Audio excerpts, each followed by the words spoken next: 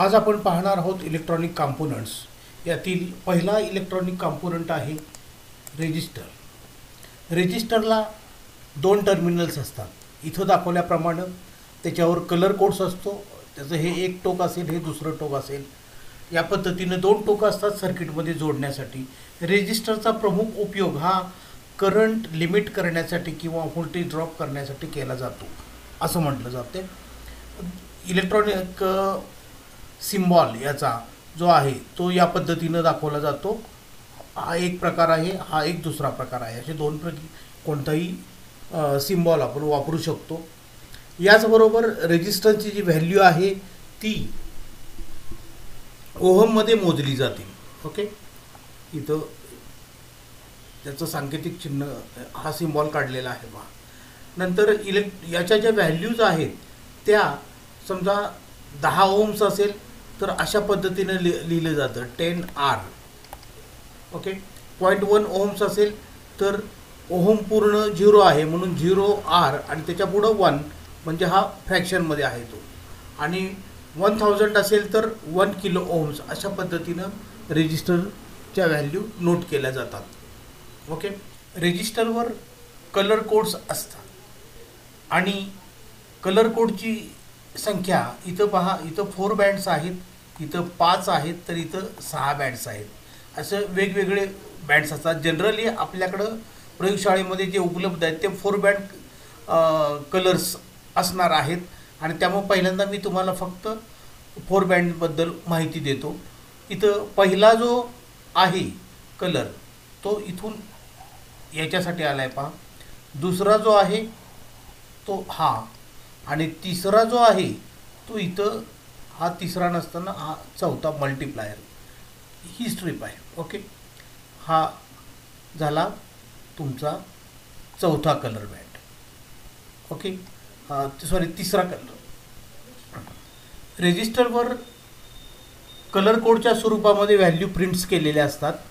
तर इथं तीन प्रकारचे कलर बँड्स आहेत पहा. इथं four colour bands five colour bands आणि सिक्स कलर बँड असं आहे. तर इथं फोर कलर बँडबद्दल मी तुम्हाला माहिती देतो की त्याची व्हॅल्यू कशी काढायची. इथं पहिला जो रंग आहे इथं तो हा आला पहिला. दुसरा जो आहे तो हा दुसरा इथं आलेला आहे. आणि तिसरा जो आलेला आहे तो हा तिसरा मल्टिप्लायर आलेला आहे. आणि हा चौथा जो आहे तो इथं चौथा टॉलरन्स आलेला आहे.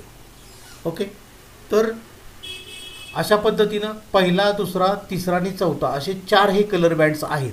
आता याची व्हॅल्यू कशी काढायची पहा. पहिला आहे रेड दुसरा आहे ग्रीन तिसरा आहे ऑरेंज आणि हा चौथा जो आहे तो गोल्ड म्हणजे इथं रेड ग्रीन ऑरेंज आणि गोल्ड असे कलर्स आहेत. आता रेडचा व्हॅल्यू किती आहे पहा? दोन. इथं दोन लिहिली. नंतर ग्रीनची व्हॅल्यू आहे पाच. मग इथं आपण पाच लिहिलं.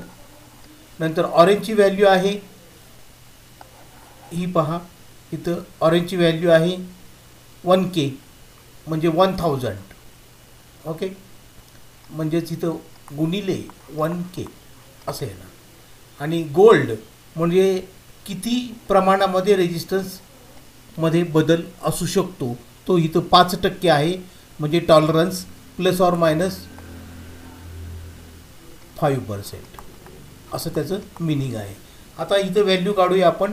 इथं होणार आहे two five into one thousand म्हणजेच ट्वेंटी फाईव्ह किलो ओम्स ही झाली याची व्हॅल्यू आणि याचा टॉलरन्स असणार आहे फाईव्ह पर्सेंट अशा पद्धतीनं फोर कलर बँडसाठी काढतात. फाईव्हमध्ये एक डिजिट वाढेल आणि सिक्समध्ये पुन्हा एक टेम्परेचर कोइफिशियंट हा एक डिजिट वाढेल.